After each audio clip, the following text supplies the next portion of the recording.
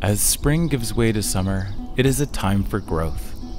Frogs and birds call out during the long hours of the day. Parents prepare their newborns for the risks and rewards of life. Animals are on the move, searching for their next meals. And new characters arrive in Morrison Creek. I'm Bennett Whitnell, and this is Grant Callegari. We are videographers with the Hakai Institute. With the use of these stealth cameras, we've been able to capture subtle and intimate moments that we'd never otherwise get to see with our own eyes. And so far, nature has not disappointed. This bear coming through here.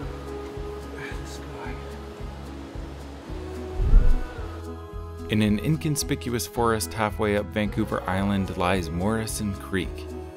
We have strategically placed camera traps throughout the forest hoping to capture some amazing wildlife behavior.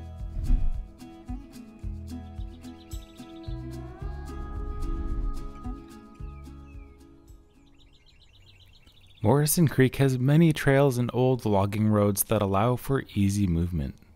Not just for people, but for animals too. We put up some trail cameras along one of these old logging roads to see which animals take advantage of this path through the woods.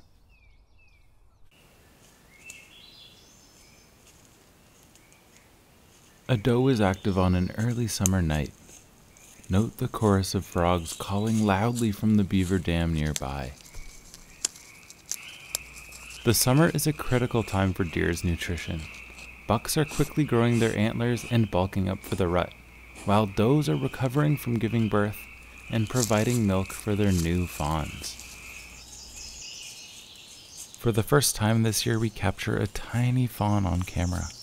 It looks to be only a few weeks old.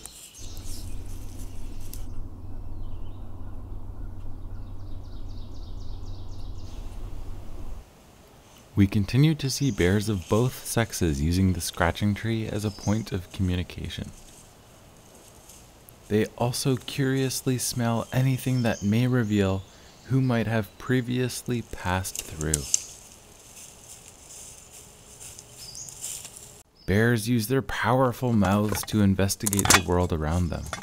It's a good thing we have our cameras in steel boxes. Bears need a lot of fuel. Green leafy plants make up a big chunk of their diet, but they will also eat just about anything they can find, dead or alive, including mammals, reptiles, amphibians, fish, insects, fruits, and nuts.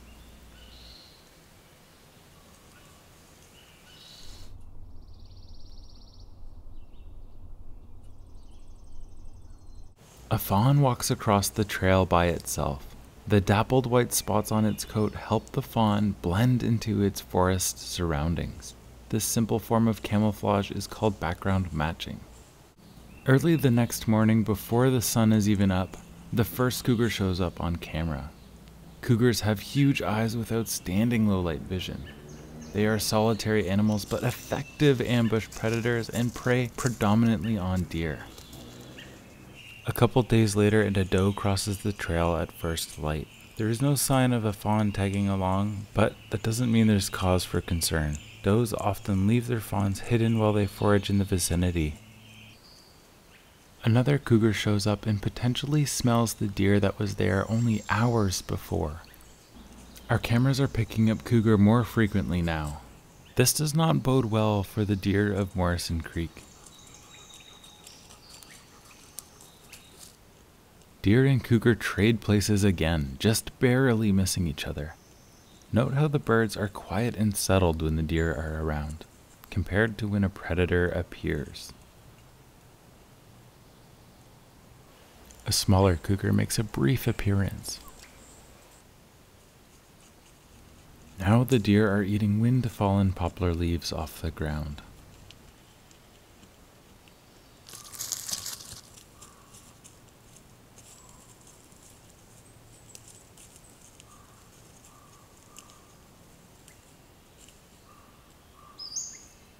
And this deer has two fawns in tow. When born, fawns lack scent. This helps them evade the sensitive nose of predators. They will lay down in cover and stay motionless and silent for protection when they sense danger.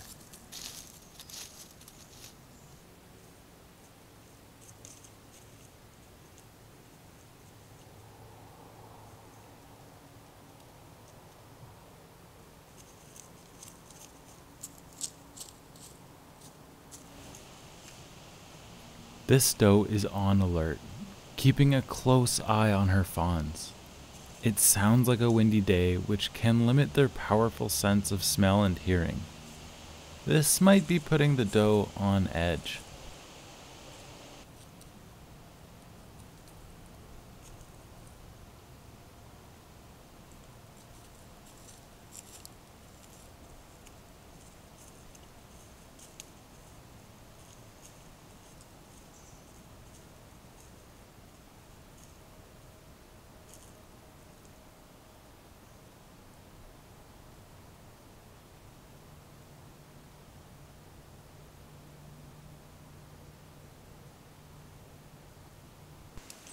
A female bear makes an appearance. They can be identified by having shorter legs, ears more centered on the top of their head, and smaller looking heads than the males.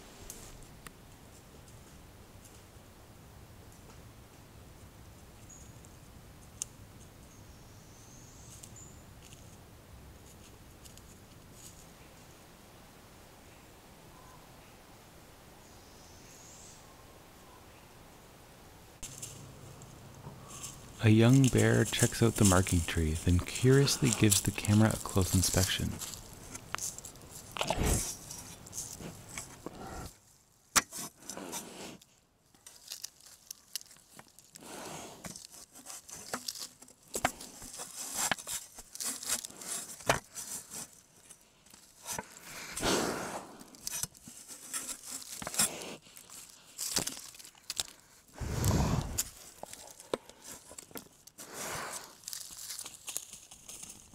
When it realizes it's likely not natural, it runs off into the bush.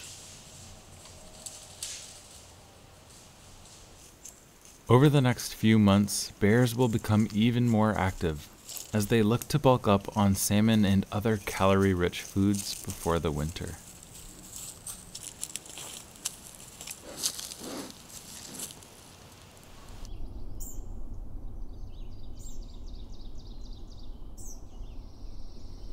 Over at the beaver dam, pine marten play. Marten are seen as indicators of forest ecosystem integrity because they prefer old growth and mature forest habitats, and usually make their dens in the hollow trees that tend to be found in older forests.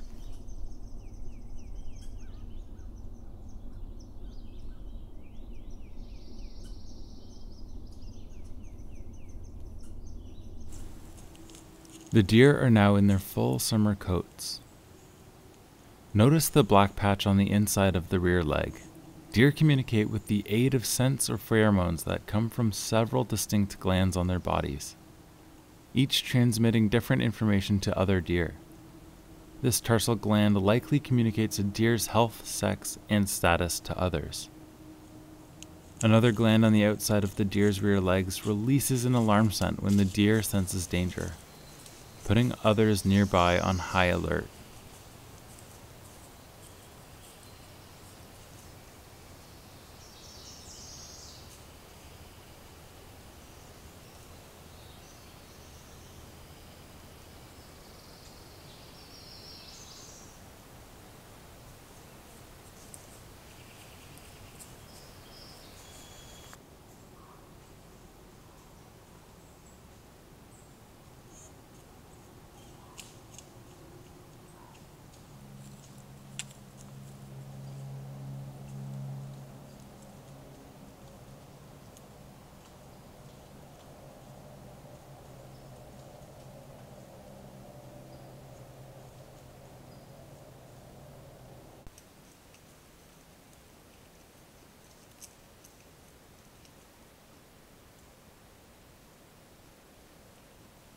The tail end of a cougar passes through.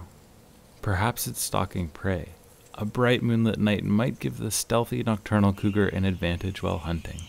Territorial by nature, these big, powerful cats can grow to be almost 9 feet long from tip to tail. Cougars are at the top of the food chain here in British Columbia.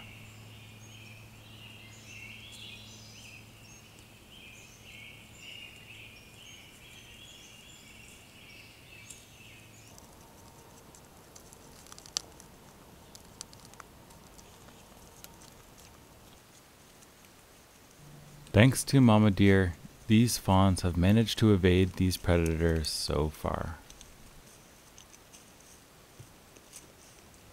Fall is around the corner and big changes are in store for the inhabitants of Morrison Creek. Join us for the next episode to see what the cameras picked up.